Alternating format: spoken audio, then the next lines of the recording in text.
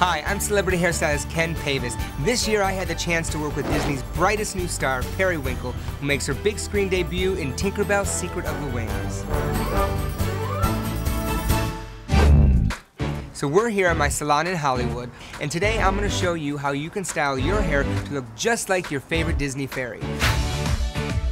Hi Ariana. Hi. How are you? I'm Good, I heard you wanted to look like one of your favorite Disney fairies, Fawn. Yes. Operation Periwinkle in effect. You know that Fawn's signature look is her braid, right? Yeah. She's a tomboy, but she still wants to look great and have it functional, but up and out of the way. So we started with Ariana's hair in a high ponytail. So if you don't have bangs like Ariana and Fawn have, that's great too. Just pull it up into a high slick ponytail and begin there. All you're gonna need to braid, if you wanna have your hair look like Fawn's hair, is just your hands and then one elastic band for the end.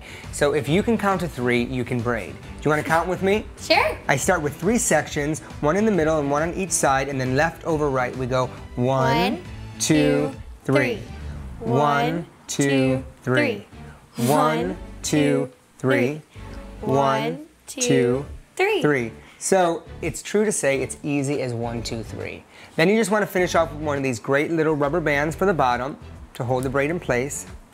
So there you go, that quick and easy, by the count of one, two, three, we have given Ariana Fawn's signature braid. It's awesome. Nice, right? You like it? Yeah, I love Very it. Very cool.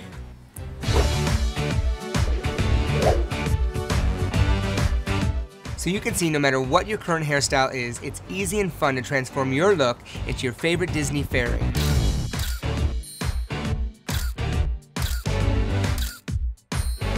All you need is a comb and a brush and a little pixie dust.